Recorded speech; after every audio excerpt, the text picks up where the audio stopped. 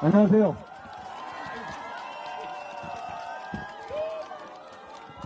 안녕하십니까? 제가 전에 여기 자주 왔었는데 이렇게 많이 변했군요. 반갑습니다. 여러분 먼저 제가 하나 어, 호소의 말씀을 드립니다. 제가 접전 상황에 대해서 며칠 전에 말씀드린 적이 있는데요. 저희 어, 분석에 따르면 이 접전 지역에서 골든 크로스가 다수 상당수 일어나고 있습니다. 여러분 나서 주셔야 합니다. 나서면 이깁니다.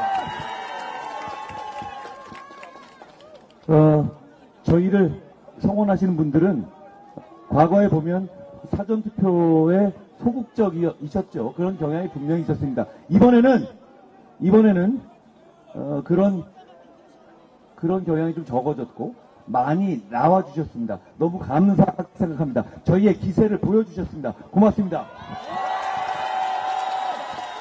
그렇지만, 그렇지만, 그럼에도 불구하고 저희를 지지해 주시고 응원해 주신 분은 역시 중심은 본투표입니다. 본투표에 나가 주셔야 합니다.